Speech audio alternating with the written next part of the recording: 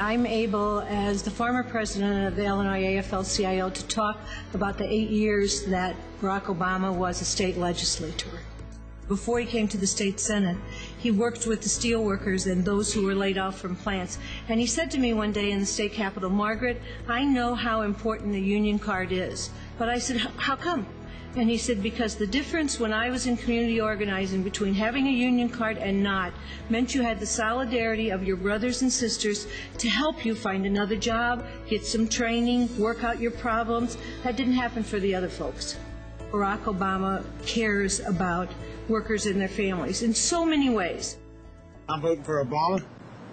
Obama. Obama.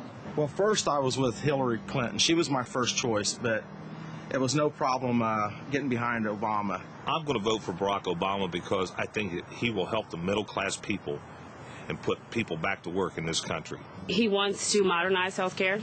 Um, he wants to have stricter rules with NAFTA. I like the fact that he's a Christian, I'm a Christian. I know Obama gets working people. We can't take four more years of this current administration, and that's what we'll get with John McCain. Everything that the American working man stands for, John McCain's against. What's happened in eight years is going to take a long time to reverse, but it gives us hope. Everybody just needs to get out and vote. If they want to see things change in this country, that Barack Obama's the way to go. You talked about the issues and you let them know what Barack stands for and you let them know what John McCain stands for. I don't care whether you're a union or what you are. You're going to have to have an awful lot of money not to vote for Barack.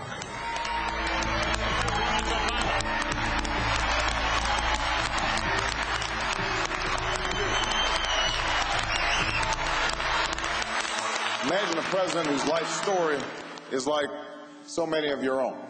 Who knows what it's like to go to college on student loans or to see a mother get sick and worry that maybe she can't pay the bills? Imagine an America where our politics is not based on fear, but is based on hope.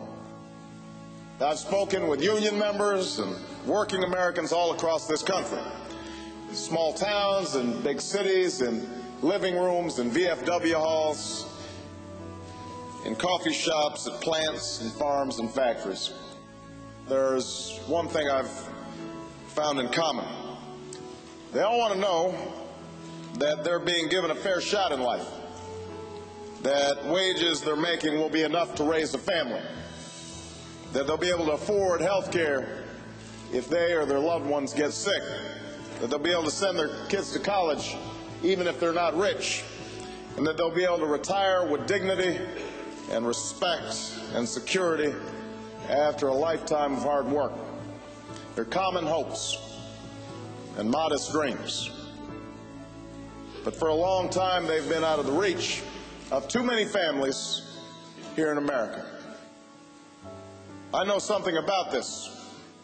The reason I turned down a job on Wall Street and went to work as a community organizer in Chicago more than two decades ago was to help neighborhoods that had been devastated by the closing of steel plants all across the south side of Chicago. And I worked with churches and with unions to organize job training for those who'd been uh, put out of a job.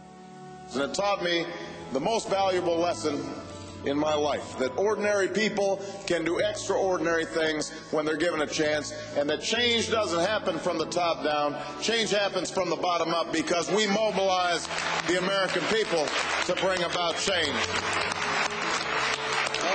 Play some offense. I'm ready to play offense for a living wage. I'm ready to play offense for a secure retirement. We're ready to play offense on universal health care.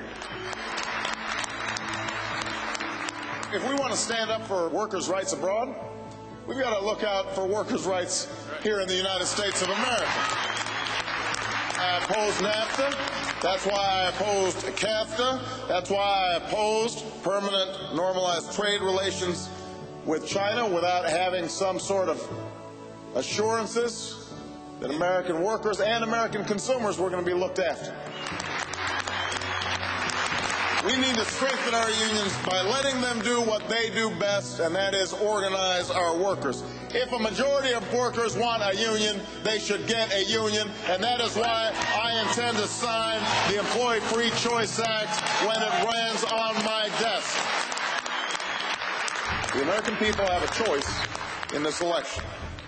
We can keep playing the same old Washington game, or we can choose a different future. There's a moment in the life of every generation where that spirit of unity and hopefulness has to come through if we're to make our mark on history. This is our moment. This is our time. And if you will march with me, if you will organize with me, if you will vote for me, then I promise you this. You and I together, we are going to change this country. We are going to change the world. Thank you very much, everybody. God bless you. Thank you.